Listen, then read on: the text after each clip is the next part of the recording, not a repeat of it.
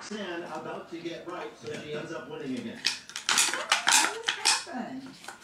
It always happens. No, it doesn't. She needs six to win. She needs six to win. All right, here we go. Alright. Number one. This week, Defense Secretary Ashton Carter announced that when necessary, the U.S. would fight blank using ground troops. Uh, ISIS. Right, on Tuesday, former House Speaker Blank pled guilty to charges of intentionally hiding the recipient of money transfer. Fantastic. Right, the U.S. joined a dozen other world powers in Vienna on Thursday to discuss the continuing civil war in. Um, Syria? Yeah, one day after making its landfall near Puerto Vallarta, Hurricane Blank was downgraded to a tropical storm. Yes, this week in Salem, Massachusetts, a blank sued blank for harassment. Oh, which?